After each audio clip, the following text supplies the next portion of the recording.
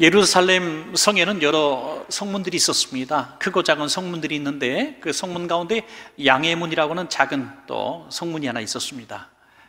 그 성문 근처에 아, 베데스라고 베데스다라고 하는 아, 또 못이 하나 있는데요. 이 못 때문에 굉장히 유명해졌습니다. 아, 천사가 와서 가끔 이 못을 흔들어 놓는데 누구든지 어떤 병에 걸렸든지 이 못에 가장 먼저 뛰어드는 사람은 병에서 고침을 받았다 하는 소문이 전해졌기 때문입니다. 그래서 이 못의 이름을 베데스다라고 지은 것이죠. 베데스다는 자비의 집입니다. 오늘날 많은 요양병원 또 병원들이 베데스다라는 이름을 갖게 된 것도 바로 여기서 유래된 것이죠. 어쨌든 이것이 전설이든 또 소문이든 실제로 나은 사람이 있었던 성경에서는 어, 이 소문대로 많은 사람이 이 병에서 낫기 위해서 이곳에 모여들었다는 것을 어, 기록해 놓고 있습니다. 얼마나 많이 모였으면 행각을 다섯 개나 지어 놓고 그 행각에서 머물면서 어, 물이 동하기를 기다리는 환자들이 그렇게 많았습니다. 그 행각에 들어갈 수 없었던 수많은 사람들은 그 못 근처에서 이제 자리를 하고 또 못 가장 가까운 곳에서 예, 침상치로 누워 있는 이런 모습을 볼 수가 있었습니다. 오늘날도 현대 의학으로 고칠 수 없는 많은 질병들이 있지 않습니까? 그래서 어, 의학적으로 검증되지 않은 여러 가지 방법도 어, 사용하기도 하는 그런 애처로운 모습도 또 보기도 하죠. 이 당대에 오죽했겠습니까? 지푸라기 잡는 마음으로 그 베데스다 목가 근처에서 자리 잡고 얼마나 많은 사람들이 신음하며 기다렸겠습니까? 단지 이것이 전설이다, 아, 소문에 불과했다, 실제로 나은 사람은 없다 하는 사람들도 많이 있었습니다. 근데 1888년에 아, 고고학자들이 바로 이 베데스다라고 추정되는 뭐 연못을 발견하게 됩니다. 쌍둥이 연못이라 그러는데요. 연못이 두 개가 이렇게 붙어 있었습니다. 행각이 실제로 다섯 개가 아, 구비되어 있었고 또 수많은 사람들이 연못 주변에 기다릴 만한 또 물이 동할 만한 그런 수준의 연못을 갖고 있었는데 사실은 어, 고고학자들이 발견한 이 연못은 실제 자연스럽게 물이 솟은 연못이 아니라 물을 담아 놓은 저수지였을 것이다라고 추정해 놓고 있습니다. 굉장히 규모가 컸었습니다. 당시에 이걸 만들어 놓은 것이 놀라울 뿐이죠.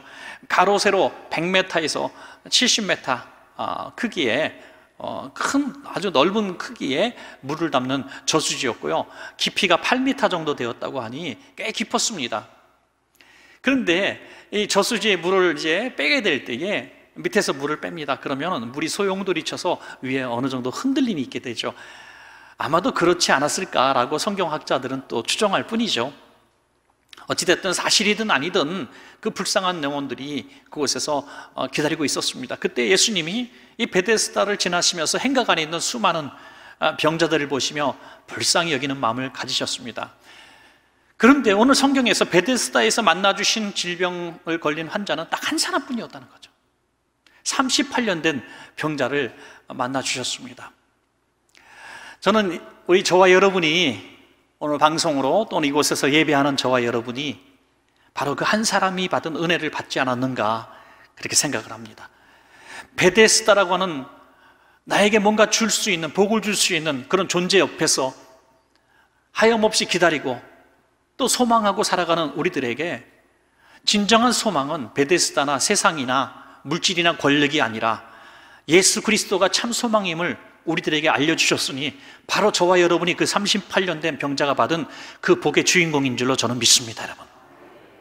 우연히 우리가 주님을 만난 것이 아니라 많고 많은 사람들 가운데 주님이 우리를 지명해서 우리를 만나 주셨기 때문에 그 수많은 사람들이 여전히 베데스다라고 하는 세상에서 소망을 두고 살아가는 이때에 우리는 그 자리를 박차고 일어나서 그리스인으로 살아갈 수 있게 하셨으니 얼마나 놀랍고 큰 은혜입니까?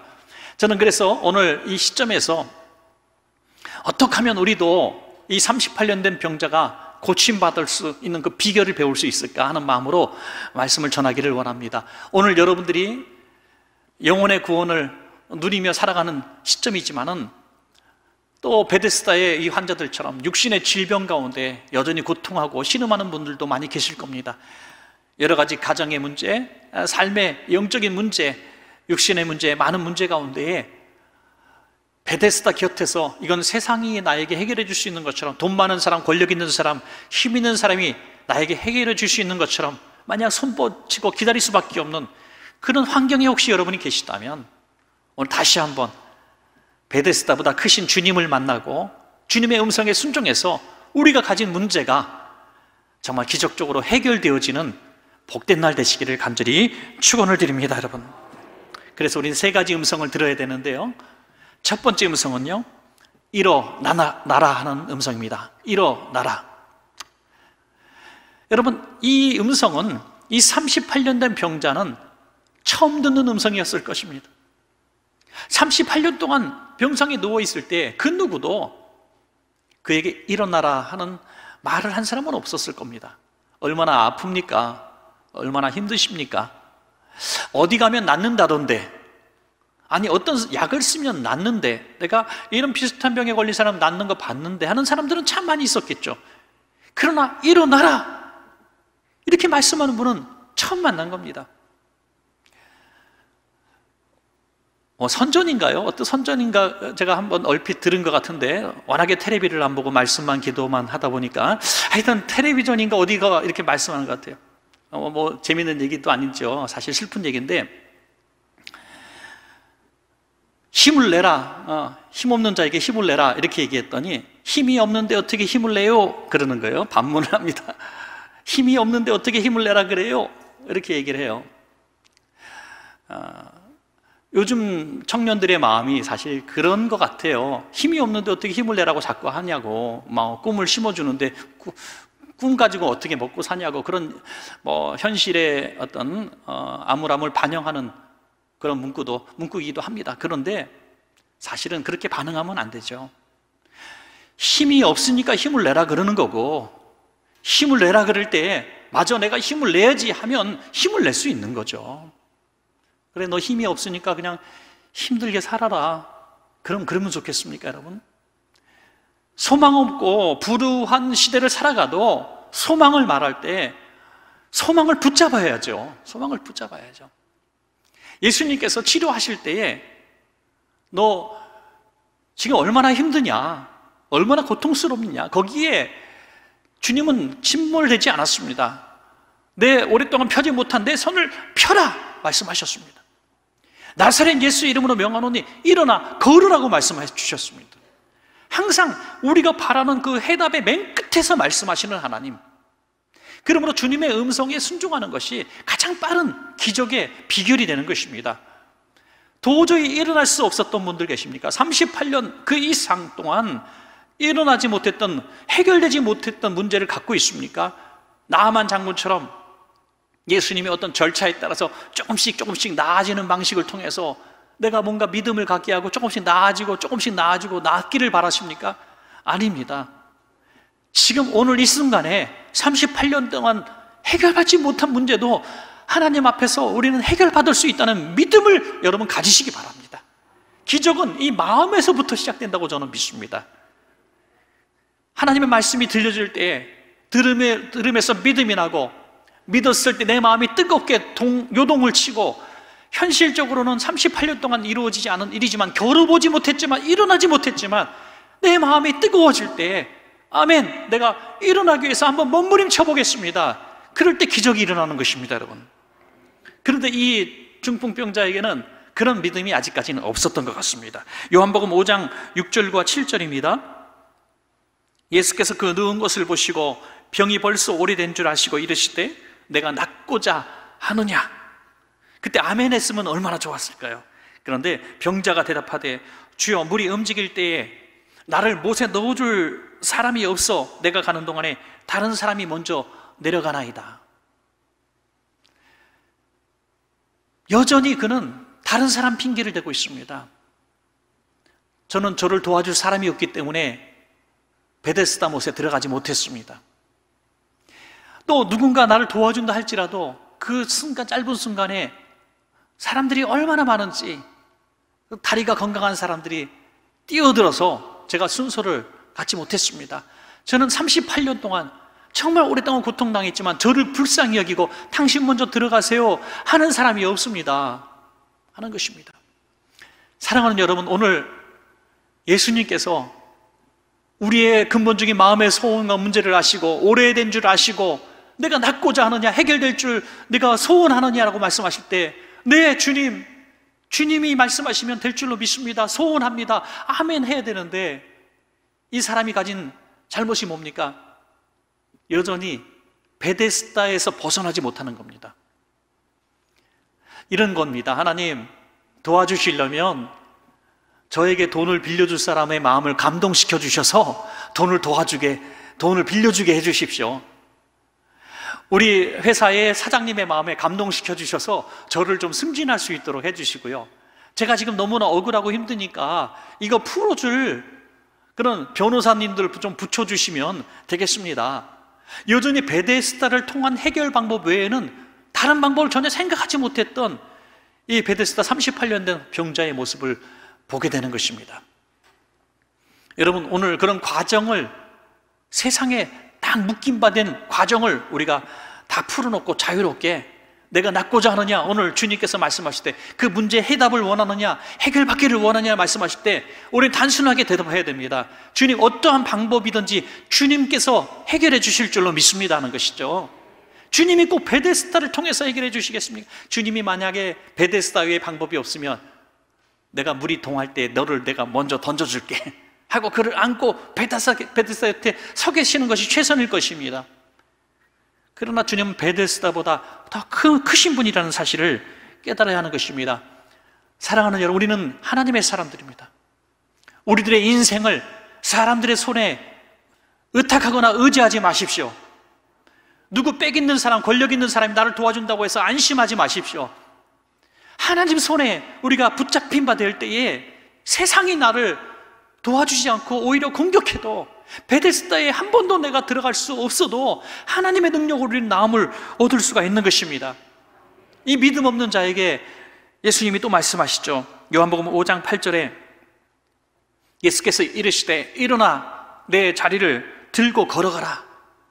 일어나 네가 일어나라 하는 것입니다. 믿음이 먼저 생겨야 하는 것입니다. 여러분 기적은 믿음에서부터 시작됩니다.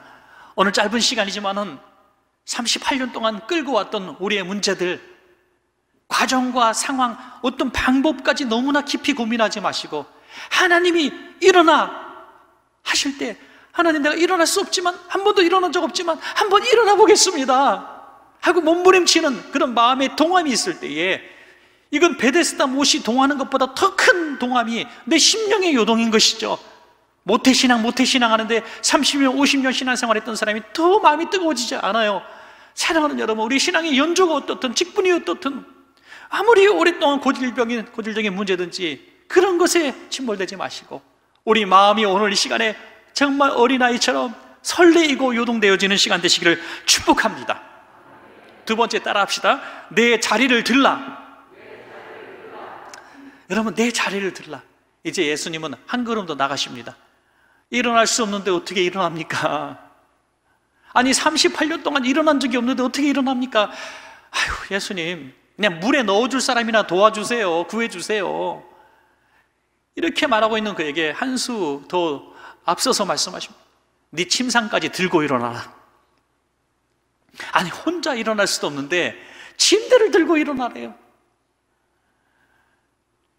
어떤 중풍병자는 스스로 올 수 없으니 친구들이 침대를 들고 천장을 뚫고 내리는 그런 것까지는 우리가 보았지만 지금 38년 동안 누워있는 사람에게 일어나는 것도 부족해서 내 침대를 들고 일어나라. 이게 무슨 말씀입니까? 도저히 불가능한 것을 말씀하고 있는 것입니다. 오늘 주님께서 그냥 일어나는 것보다 하나 더 수준을 높이셔서 우리에게 어마어마한 것들을 말씀하실 때 우리는 과연 네, 한번 해보겠습니다. 하고 일어날 수 있는가? 정말 어렵다는 것입니다. 여러분 38년 된 그를 눕게 만들었던 그 침상은 그의 인생이고 그의 삶이었습니다. 그의 집이었고 그의 과거였습니다. 지금 저와 여러분이 눕고 있는 침상이 있다는 겁니다. 38년 아니라 50년, 60년 동안 살아오신 여러분의 철학과 상식과 방법, 방식, 고집, 배경, 환경, 지식 모든 것들이 경험 모든 것들이 바로 38년 된 심상입니다. 오늘 말씀을 듣고 주님께서 여러분 마음속에 그 38년 된 여러분의 인생 모든 것들을 뒤집어 버려라. 너의 고집 꺾어버리고 너의 살아왔던 습관, 너의 신념, 너의 지식, 너의 상식, 너의 모든 것들을 다 뒤집어 버려라. 하나님 앞에 단순하게 나와 말씀이 선포되면 아멘하고 한번 도전해봐라. 이렇게 말씀하실 때 여러분의 인생을 정말 지금 살아왔던 모든 인생을 뒤집어 버릴 수 있습니까? 내 신념이고요. 내 고집이고요. 내 철학이고요. 그것 붙들고 지금까지 살아왔는데 말이죠. 그건 절대로 쉬운 일이 아닙니다. 너무너무 어려운 일입니다. 그러나 저는 이런 생각을 해봤습니다. 살아가면서 신념과 가치, 고집, 자기의 이상, 이런 것들을 붙들고 열심히 산 사람들은 한창 때는 대단히 멋있고 성공적인 삶을 살아가는 사람들을 많이 봅니다. 야, 저 사람은 정말 대단해. 열정과 신념과 끈기, 정말 대단해. 고상한 철학도 있고요. 너무나 열심히 삽니다. 그런데 그런 것들이 다 내 손에서 빠져나가고 나이가 들고 또 어떤 사건과 사고를 만나고 교통사고나 또는 질병에 걸리거나 내가 죽음의 문턱 앞에 딱 섰을 때 자기가 가진 모든 것들이 부질없음을 깨닫게 된다면 무슨 소용이 있습니까? 여러분? 아, 난 열심히 이렇게 살아오면 되는 줄 알았는데 전혀 예기치 못한 사건과 사고 앞에서 죽음 앞에 딱 섰을 때 너무 불안한 거예요. 내가 제대로 살아온 게 맞는가? 그렇게 신념이 확실했고 철학이 확실했고 누가 물어보면 인생은 이런 거라고 아주 확신하게 대답했는데 죽음 앞에 사건 앞에 예기치 못한 이해할 수 없는 일들 앞에서 한없이 나는 초라해지는 것입니다. 나 잘못 사는 거 아닌가? 이게 뭐지? 그것이 바로 38년 된 침상을 버릴 수 없었던 사람의 모습입니다. 그러나 우리가 그리스도를 알고 주님의 음성과 말씀으로 내 삶을 채우고 내 철학과 가치관과 꿈과 계획과 이상과 이런 것들을 다 뒤집어 버리고 예수로 덮어졌을 때 그리스도인으로 새로운 피조물이 되었을 때에 우리는 확실한 게 있습니다. 어떤 사건과 사고 앞에 예기치 못한 죽음 앞에 섰을 때에 우리는 내가 제대로 살았구나. 내가 확실히 잘 믿었구나. 천국이 확실히 있구나. 확실하게 믿어진다면 이것이 바른 믿음인 줄로 믿습니다, 여러분. 이제 나이 들어서 손주와 손녀들 앞에서 우리 할머님, 할아버님들, 또 우리 부모님들이 이렇게 얘기할 수 있으면 얼마나 멋있겠습니까? 얘들아, 내가 세상적으로는 크게 성공하지 못했고, 어마어마한 꿈을 이루지 못했지만, 나는 예수 믿은 것이 내 평생에 가장 잘한 일이고 내가 지금 죽음 앞에 서니 하나도 두렵지 않다. 지금 천국이 내 앞에 열려 있다. 얘들아, 너희들도 꼭 예수 믿고 천국에서 만나자. 할렐루야. 괜히 어버이 주일 몇 주 지났는데 또 부모님 생각해서 눈물 나게 하려고 하는 건 아니고요. 예. 죽음과 사건 앞에서 정말 만족하고 감사하고 내가 잘 살았다고 확신할 수 있는 방법은요, 내 침상을 뒤집어 엎는 이런 과감한 포기와 결단이 있지 않고는 있을 수가 없는 것입니다. 예수로 덧입혀지는 인생이 가장 확실한 인생이 되는 줄로 믿습니다. 마귀는 항상 다른 사람 핑계해줘. 너는 운명이 그렇게, 너는 그렇게 살아야 될 운명이야. 너는 그렇게 가난한 집에서 태어났고, 너는 배운 것이 없고, 너 외모가 그렇고, 너의 환경이 그렇고, 너희 주변에 사기꾼들 뿐이고, 널 도와주는 사람은 없으니 넌 그렇게 살아야 해. 원망하고 불평하며 사는 게 내 인생의 목표야. 이렇게 마귀, 마귀는 늘 속삭인다는 거야. 항상 슬퍼하라. 쉬지 말고 원망하라. 범사에 불평하라. 이렇게 마귀는 마귀의 성경에 쓰고 있어요, 여러분. 2013년 미국의 보스턴 마라톤 경기장에 폭탄 테러가 있었던 거 여러분들 다들 기억하실 겁니다. 너무나 세계적으로 끔찍한 사건이었죠. 그때 결승전 근처에 한 모녀가 있었습니다. 어머니 이름은 셀레스트 코코로문이라는 여자고 또 딸은 시드니입니다. 이 모녀가 이곳에서 친구를 만나기 위해서 기다리고 있다가 폭탄 테러의 피해자가 되었습니다. 아수라장이 되었죠. 순식간에 쓰러져 있던 모녀는 서로를 바라보며 참혹한 광경에 눈물을 흘립니다. 이 여인의 두 다리는 없어져 버렸고 사랑하는 어린 딸은 온몸이 파편투성이가 다 피투성이가 돼 버렸어. 두 다리 없는 엄마, 피투성이 돼서 온몸이 상처투성인 어린 딸. 어린 딸은 아니지만 이제 청소년기쯤 됐었겠죠, 그때. 근데 그들이 그 치료받는 과정이 얼마나 끔찍했는지요. 얼마나 고통스러웠는지. 모녀가 이렇게 붙들고 같이 울며 기도했대요. 하나님, 제발 좀 죽여주세요. 제발 좀 죽여주세요. 내가 그곳에 왜 갔던가? 내가 그곳에 왜 서 있었던가? 왜 하필이면 그곳에 있었던가? 스스로를 원망하고 테러범을 저주하고 자기 인생을 저주했습니다. 살 가치를 느끼지 못했어요. 그러던 어느 날에 아프가니스탄 참전 용사였던 게브리엘 마티네즈라고 하는 젊은이가 찾아옵니다. 그 사람은 또 역시 참전해서 전쟁 중에 두 다리를 잃은 사람입니다. 그가 와서 다른 어떤 사람이 할 수 없는 위로를 합니다. 같은 입장이죠. 두 다리 없는 입장에서 이렇게 얘기합니다.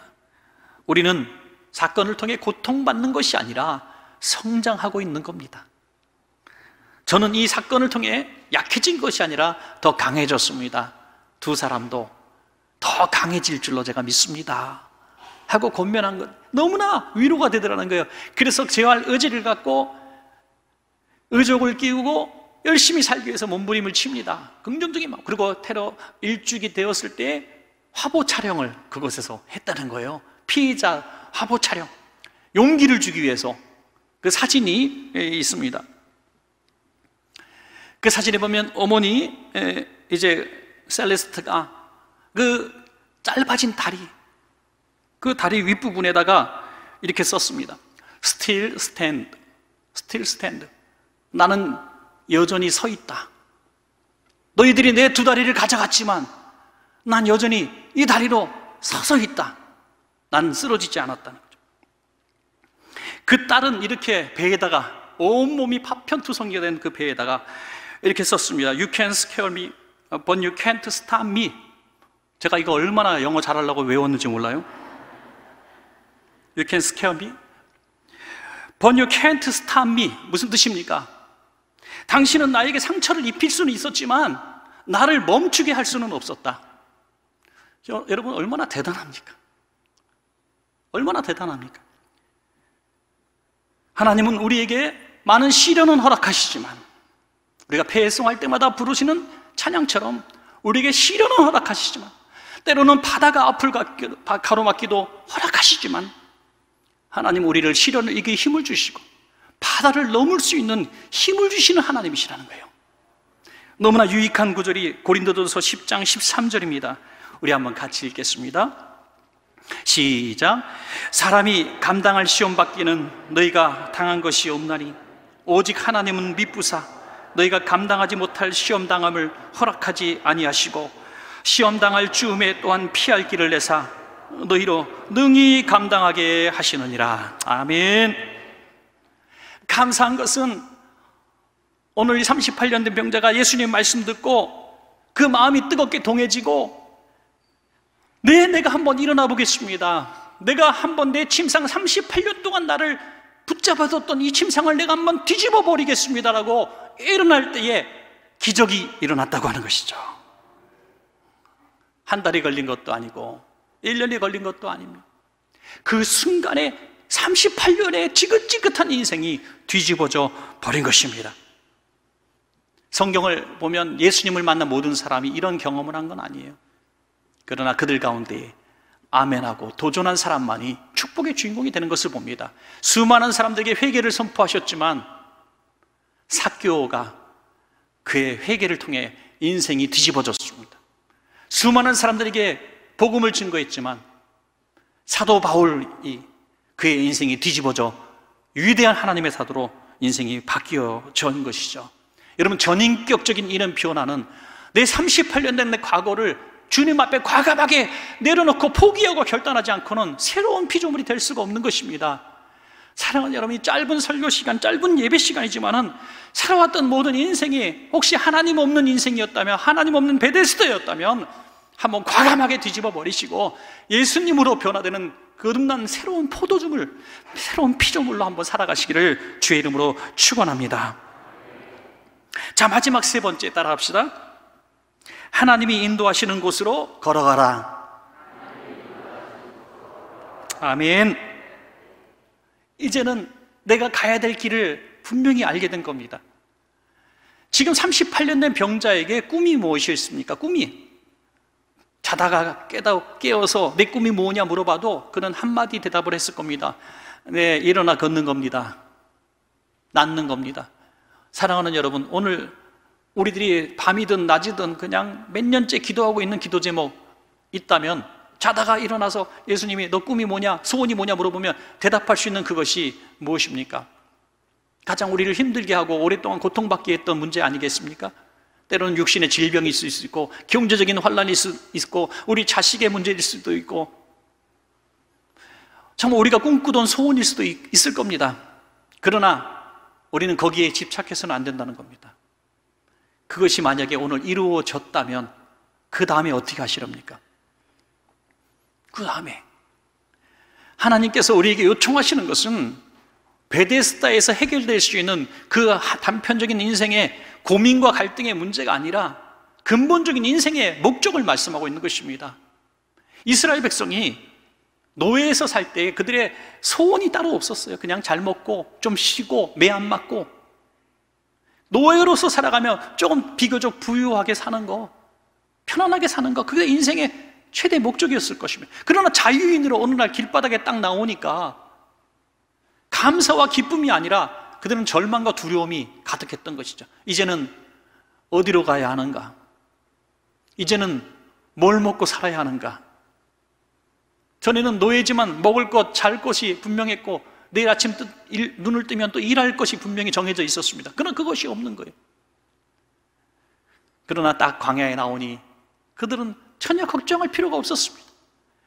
아침마다 하나님께서 만나를 내려주셨고 불과 구름 기둥으로 길을 인도해 주셨고 옷 살 데가 없었지만 신발과 옷이 헤어지지 않도록 하나님이 하셨다는 것입니다. 그러므로 인생 살면서 가장 큰 두려움은 사실 먹고 사는 문제, 내일 어떻게 살 것인가, 건강에 대한 문제, 이런 문제인데 실제로 우리가 정말 두려워야 될 것은 하나님이 내 길을 인도하지 않는 것에 대한 두려움인 것입니다, 여러분. 일어나, 걸어라 말할 때에 단지 낫는 것이 인생의 목표였던 그가 주님과 함께 동행하는 인생이 된 줄로 믿습니다. 얼마나 놀라운 일입니까? 우리가 가졌던 38년 동안 가졌던 문제가 해결된 것이 문제가 아니라 그 해결되게 하신 하나님의 은혜 속에서 우리는 주님을 발견하게 되었고 그 고통 가운데 계신 주님을 발견하고 치료하시는 주님을 발견하고 하나님의 사람이 되어서 이제 우리 인생의 목표와 가치관이 바뀌었다는 것입니다. 베데스다에 없었더라면 그 은혜와 축복이 없었는데 우리에게 이런 가난과 실패와 절망이 없었더라면 질병이 없었더라면 하나님을 몰랐을 텐데 이런 고통을 통해서 주님을 알게 되었고 천국을 믿게 되었으니 내가 그리스도인으로 살아가는 삶의 방식을 배웠사오니 이게 복이 아니고 무엇이겠습니까, 여러분? 저희도 뭐 그런 기도를 종종 하고 싶을 때가 많이 있어요. 여러분 자녀들 다 그런 기도 하지 않습니까? 하나님, 우리 딸, 우리 아들이 정말 부잣집 자식 만나게 해 주십시오. 아주 명문가 좀 만나게 해 주십시오. 존경받는 가문 만나서 우리 가문과 그 가문이 정말 좀 창대케 해 주십시오. 그런 소원 다 있잖아요. 남들 부러워할 만한 직업과 정말 권세, 부, 명예 있는 집안 만나는 거 참 좋죠. 그걸 기도합니다. 그래서 우리 아이들이 좀 더 편안하고 좀 더 행복하게 살기를 원하는 다 부모의 마음이겠죠. 그게 나쁘다는 게 아니죠. 나쁘다는 게 아닙니다. 그러나 하나님은요, 조금 더 우리에게 더 큰 마음을 가지라고 말씀하시는 것 같아요. 야, 너희 자녀가, 너희 자녀가 그런 복덩어리가 돼서 남들에게 복을 주는 사람이 되라. 할렐루야. 가서 기, 복을 받으려고 기웃기웃거리는 사람이 아니라 내가 복이 되라. 하나님은 아브라함에게 말씀하십니다. 네가 사람 잘 만나 복을 받는 사람이 될지어다. 아니에요. 네가 복덩어리가 되어서 내 너를 만나는 사람들이 복을 받으라. 하나님은 이걸 원하시는 거예요. 베데스다 목가에서 날 던져줄 사람이나 구해주세요. 다른 사람이 나를 불쌍히 여겨서 나를 좀 넣어주도록 기다려주세요가 아니라 너는 내 자리를 내가 스스로 들고 일어나서 내가 베데스다에서 너처럼 38년 그 이상 베데스다가 흔들리기만을 바라보는 수많은 불쌍한 자들에게 베데스다보다 더 크신 하나님을 소개하라. 사명의 인생을 주신 것입니다. 사도 바울은 그의 인생이 바뀐 이래로 한 번도 뒤를 돌아보지 않습니다. 히브리서 12장 1절에 모든 무거운 것과 얼매기 쉬운 죄를 벗어버리고 인내로서 우리 앞에 당한 경주를 하며 다른 박질 치듯이 열심히 뛰라는 거, 열심히 뛰라는 거. 마라톤 선수가요, 그 옷 소재를 얼마나 어, 선택하겠습니까? 값이 어마어마하게 비싸잖아요. 신발 하나, 뭐 옷 하나, 이게 그 예사로운 게 아닙니다. 뭐, 또 뭐, 사이클 하시는 분도 마찬가지고, 정말 어떤 취미, 산악을, 등산을 좋아하시는 분도 그렇고요. 그냥 모든 취미 생활에도 보면 그 조그만 차이를 위해서 얼마나 투자하고 노력하는지 몰라요. 뭐 몇 그램짜리 이거 소재를 개발합니다. 여러분, 그런데 우리가 천국을 향해 달려가면서 내가 너무 많은 것들을 짊어지고 세상의 소망과 세상의 소원들을 짊어지고 다른 걸 치려고 한다면 우리는 이 마라톤에서 성공할 수가 없다는 것입니다. 어떤 분이 한평생 살면서 누구보다 열심히 사셨습니다. 열심히 공부했고 남들 정말 받기 어려운 학위도 받았습니다. 훈장도 받았습니다. 표창장도 많이 받았습니다. 트로피도 많이 받았습니다. 집안에 항상 그의 자랑이었고 또 영광이었습니다. 많은 사람들이 올 때마다 박수 쳐주고 너무 축복해주고 놀랍다고 말할 때 너무 행복했습니다.